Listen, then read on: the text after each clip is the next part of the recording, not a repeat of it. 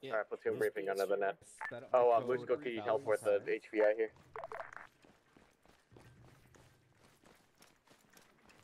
example of what the HVI looks like. Okay, but here, uh, we're gonna break this down real Twin. fast. The primary objective of this ambush is to capture this HVI alive. Assault moving to building 14 time now. And make sure you check these bodies. Make sure we didn't accidentally shoot this dude. Sentiment copies. Oh, I just